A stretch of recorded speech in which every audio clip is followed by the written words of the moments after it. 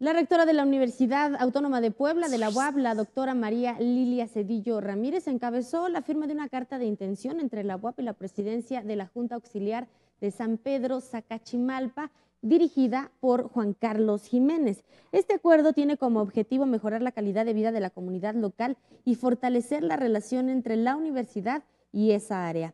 La rectora destacó que como parte de esta colaboración, 38 jóvenes de San Pedro Zacachimalpa podrán cursar sus estudios en la UAP sin costo alguno.